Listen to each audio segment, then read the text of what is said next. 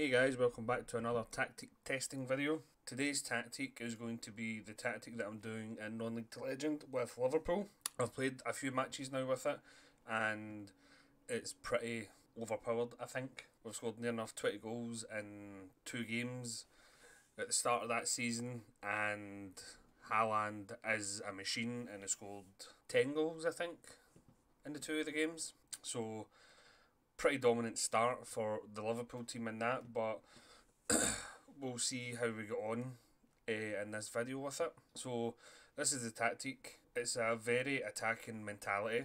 In possession, we are slightly shorter passing, extremely high tempo. We work the ball into the box and we hit low crosses.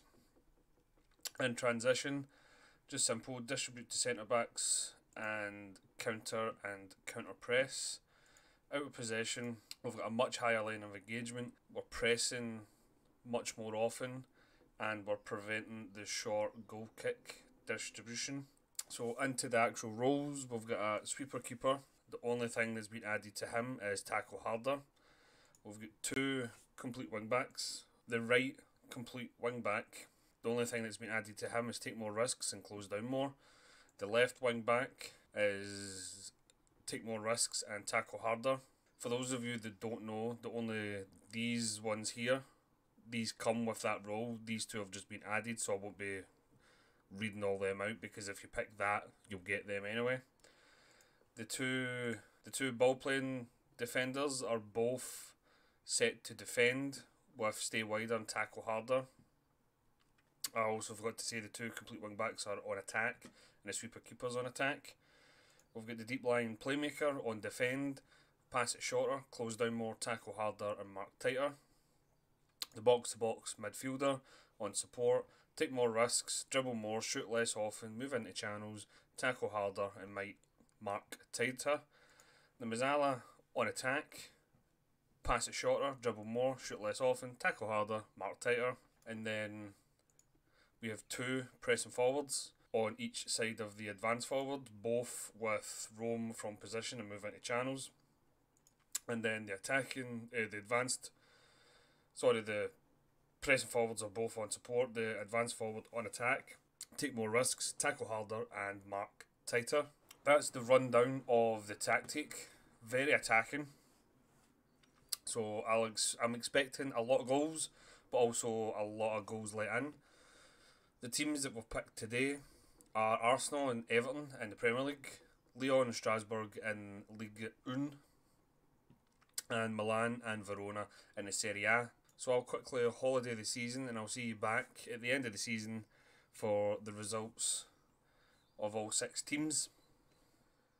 Hey guys, we're back at the end of the season. We can now have a wee look into the seasons that each team have had. So we might as well start off with Verona. Verona were predicted to finish 11th. I actually think they were lower than that, I'm sure. Uh, but as you can see, Verona finished first, scoring 104 goals, conceding 60, goal difference of 44. I think that is an awesome season for Verona. They played awesome. They're in the Champions League. Top goal scorer was Giovanni Simeone. Simeone with 26 goals. He looks like a really good player. He's not going to set the world alight, but this tactic just suits him. Finished in fourth place in the league, got knocked out in the third round of the Coppa Italia by Inter Milan. Fair enough, Inter Milan are an amazing team. So, Verona, success for them. AC Milan, as you've seen when we were in Verona, we finished first with them. Have we look at their goals 122 goals scored, 35 against. That is that is amazing. That is just phenomenal. 122 goals in, in one season goal difference of 87. That's one of the highest I think I've ever seen. So, this tactic seems to be pretty overpowered in Italy. if Verona had a few better players, then I feel that they could have done a well a wee bit better. They were. I'm still gobsmacked at how much Verona is done in this save. But two Italian teams have done very very well. So we'll jump over to France now with Strasbourg. Strasbourg finished second. Strasbourg was supposed to finish bottom half of the table, but they finished second, eight points behind uh, eventual winners PSG. But as you can see again, 127 goals, 40 against, goal difference of 87. That is better than PSG, minus the goals against. PSG only let in 20. But Strasbourg had a fantastic season. They got knocked out in the 11th round of the French Cup, which is pretty disappointing. But apart from that, fantastic season for them. By the looks of it, they got into second position and never really let go of it. They did drop down to third for a wee bit, but they weren't letting go of that second place. Next, Lyon. Leon finished third. They got one point deducted, so they would have still finished third anyway. They were predicted to finish second, I believe, so they did drop down, but they still done fantastic. Scoring 85 goals, letting in 36, goal difference of 48 9. They probably just had a an average season for them, to be completely honest, looking at it. They did, however, come second in the Europa League and in the French Cup, which is pretty gutting for them, but done very well in Europe. I forgot to see how eh, AC Milan got in Europe. They oh AC Milan actually won the Coppa Italia. They were knocked out of Champions League at the group stage, but they went into the Europa League and they ended up beating Lyon in the final. Pretty decent for them.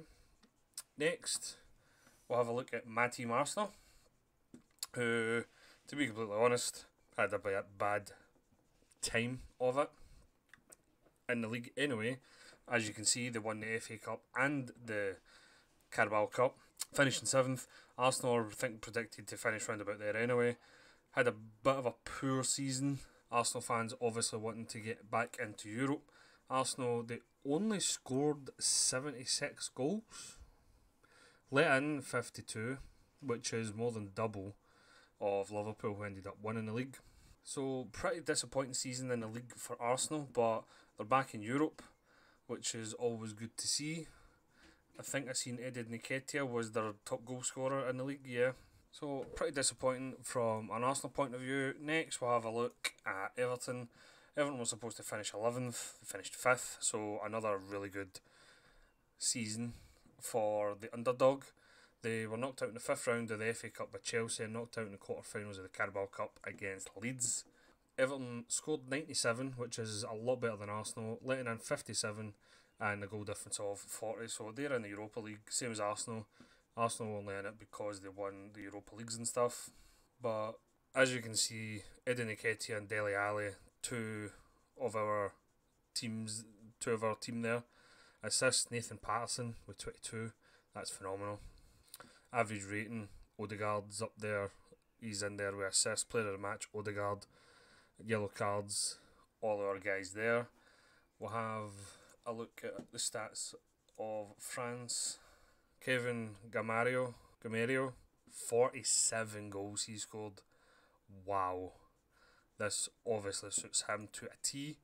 And then Moussa Dembele with 26. That is phenomenal. I think that's one of the best strike rates I've ever seen.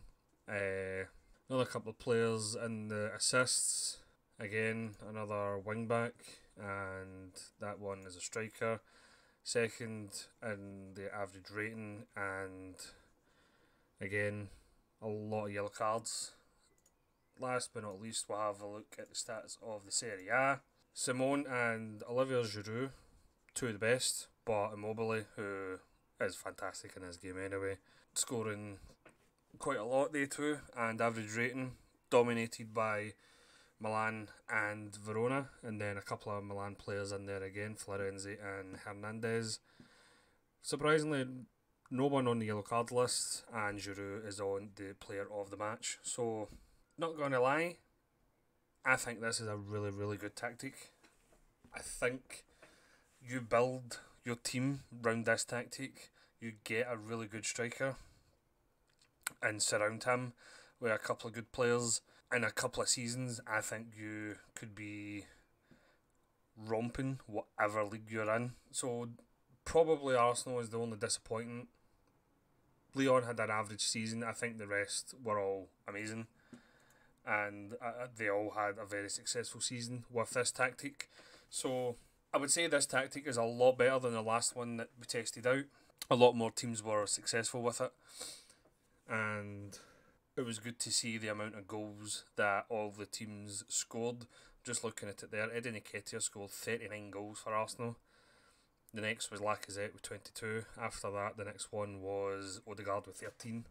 So it is a bit of a overpowered striker formation.